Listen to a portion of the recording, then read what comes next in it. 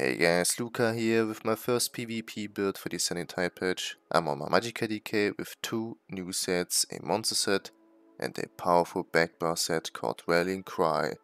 This thing gives over 300 weapon and spell damage and 1650 crit resistance, it's ridiculously strong. If you compare it with other common backbar sets, like the strongest one in terms of burst damage, Clever Alchemist, 675 weapon spell damage, but with a long downtime compared to Rally, and it's an ego set without any group benefits.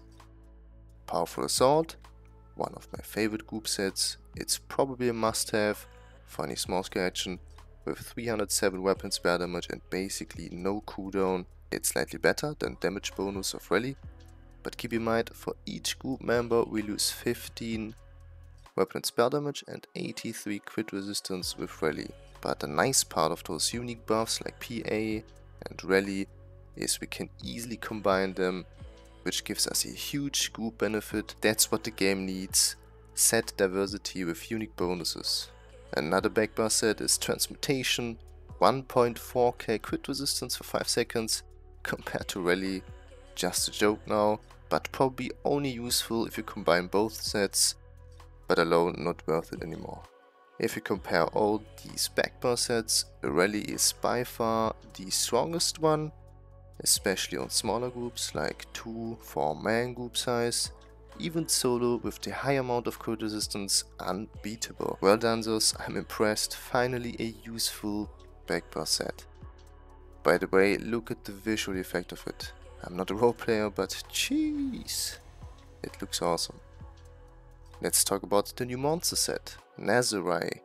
It drops in the new dungeon Shipwrights Regret, easy dungeon, easy to get. When used an ultimate ability, the closest 6 enemies within 12 meters have all major and minor debuffs applied. All major and minor debuffs. Think about that for a second. We have access to the strongest debuffs in this game, which are major vulnerability, increased damage taken by 10%, only way with the Necrocolossus Ultimate and Kinma before, and the new set Turning now, but I will talk about this set in the next builds. Major Defile, reduce target's healing taken by 16%. Major Maim, reduce damage dealt by 10%. Minor Mangle, reduce target's max health by 10%. Minor Fracture, Minor Brittle, Minor Vulnerability, etc. etc. All those debuffs will get applied with a 5 meters radius, even AoE. Just an example, with 500 ult points, the debuff duration would be at 25 seconds. So only 5 seconds cooldown. Really powerful. As frontbar set, I use Burning Spellweave, nothing to say about it, no old school set, you should know about it.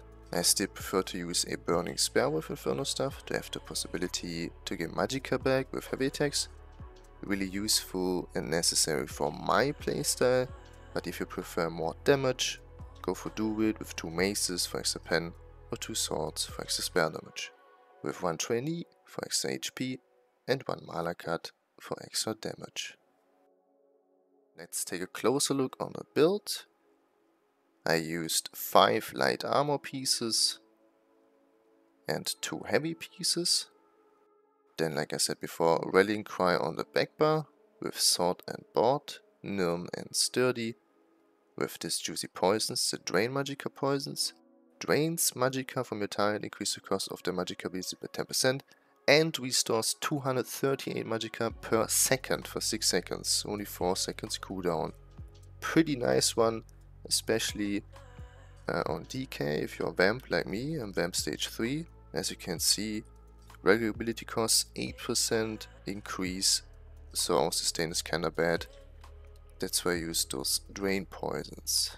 Trades 2 Impen and 5 Sturdy. We don't really need even those 2 Impen pieces. 7 Sturdy would be probably even better. Thanks to Rallying Cry, we have enough crit resistance. Then on the jewelry, something changed here. I'm with weapon damage, 2 times, and 1 cost reduction. Why weapon damage? It's simple.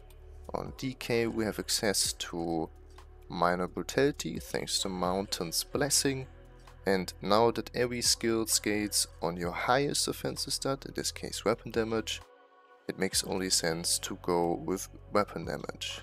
If you have access to minor swords in your group with a Templar, just stay on spell damage, then it's the same. Quick look on the skills, still engulfing flames for extra flame damage, but you could even use the stamina morph now, Noxious Breath or Major Breach. Burning Embers, it's not a burst heal anymore, it's a heal over time now. Kinda nerfed it to be honest.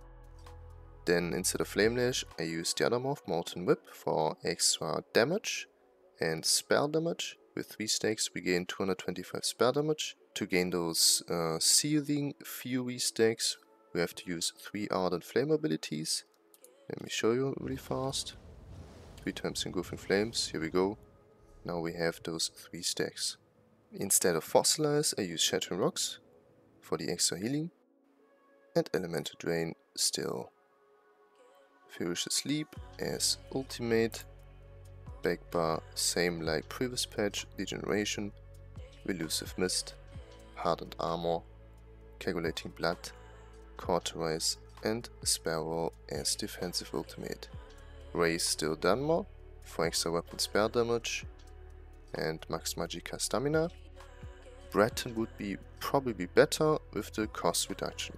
Mundus the Atronach for extra Magicka region Clockwork Citrus Filet as Buffood Vamp Stage 3 still for Mistform of course and those two passives called Strike from the Shadows 300 spell damage if we leave Mistform and Undeath, reduce the damage taken by up to 30% based on your missing health. If you really have sustain issues, mm, just cure your Vamp and go instead of Elusive Mist with where is it? Race against time, not chain excavation, the other morph. Attribute points 34 in Magicka, 30 in HP. Potions, the normal potions. CPs, Deadly Aim Master at Arms, Duelist Rebuff Ironclad, Sustained by Suffering, Pain's Refuge, Celerity and Slippery. Nothing special here.